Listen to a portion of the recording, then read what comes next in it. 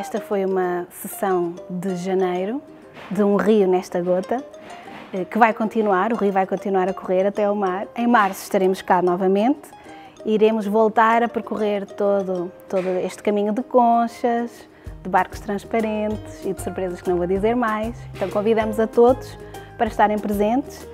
Hum, é uma sessão, concerto para bebés e crianças, com suas famílias. Venham mergulhar connosco nesta gota.